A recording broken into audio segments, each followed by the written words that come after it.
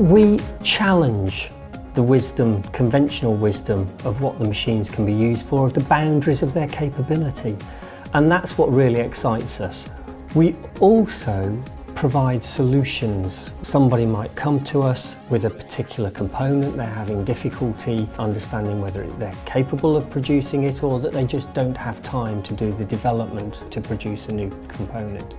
We can take that and we can do production engineering on it, we can supply all the tooling, we can supply a machine, a whole turnkey package in fact so that when that machine goes into the clients, they can put the, the power to it, load it with material, turn on and be producing these components straight away.